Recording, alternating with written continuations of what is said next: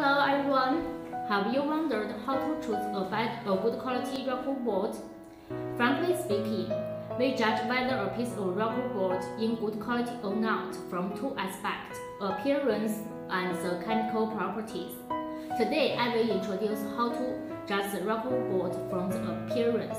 First, color. We can check the color of the rock wool board. You see, it is green. The greener of the rock wool board, the higher content of wool. Second, slag content. You can check that the black spot is slag. Uh, you can see there is light slag in this rock wool board.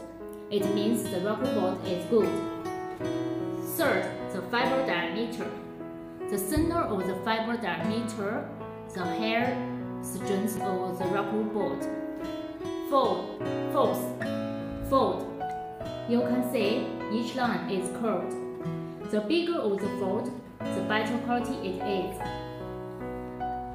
Next time we will introduce how to judge the rock wool board from the chemical properties. Please follow us.